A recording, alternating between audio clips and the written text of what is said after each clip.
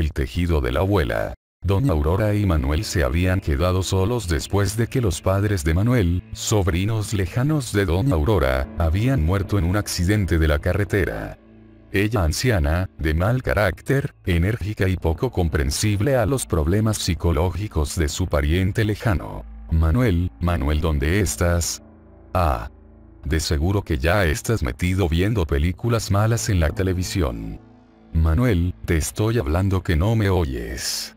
Pero donde te vea te voy a surtir a golpes, maldita sea la hora en que te recogí. ¿Por qué no te mataste junto con tus padres? Maldito enfermo.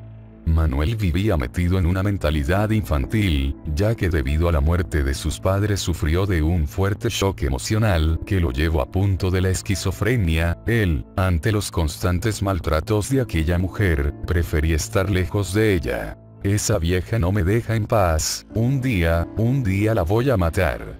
¿Sí? La voy a matar con las agujas de sus tejidos. Ja ja ja ja. Manuel, aquí estás maldito enfermo. Deja de estar viendo la tele y ponte a hacer algo de provecho.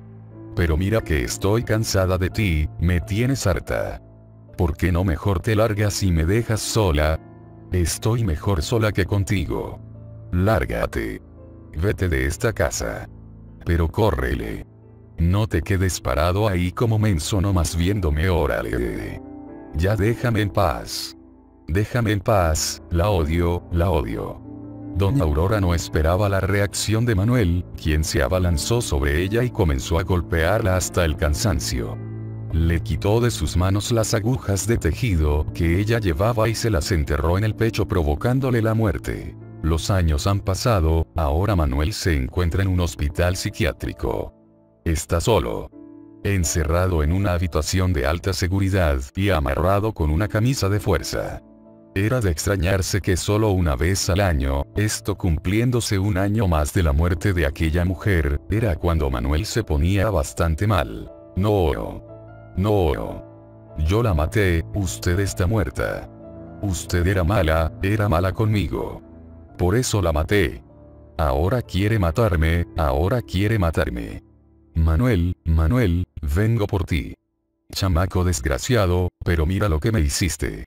Manuel, ven, ven. Desde la obscuridad de uno de los pasillos, se parecía escuchar la voz de aquella mujer. Auxilio, ayúdenme. Auxilio, es Don Aurora, viene a matarme.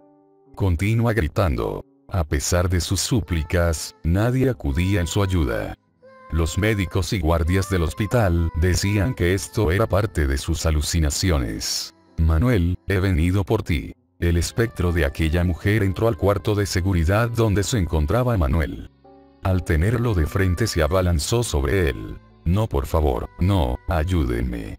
Ajá.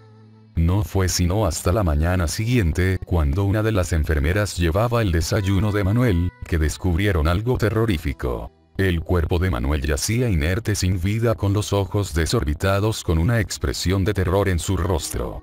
Todo era explicable. Sus alucinaciones y sus gritos, pero, su muerte, lo que nunca se explicaron fue cómo llegaron unas agujas plateadas de tejer a esa habitación, y menos cuando descubrieron que eran las mismas agujas con las que Manuel había asesinado a doña Aurora años atrás. Ahora, esas mismas agujas, habían dado muerte a Manuel. Enterradas, en su pecho. Si te gustó la historia dale like comenta y suscríbete.